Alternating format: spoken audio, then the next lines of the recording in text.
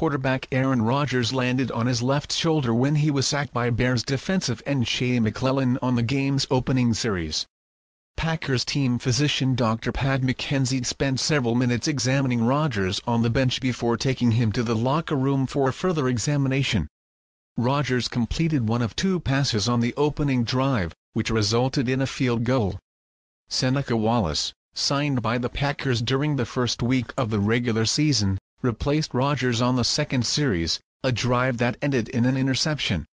With 6:54 left in the third quarter, Rodgers returned to the Packers sideline in street clothes and received a loud ovation from the crowd. Rodgers shook hands with coach Mike McCarthy,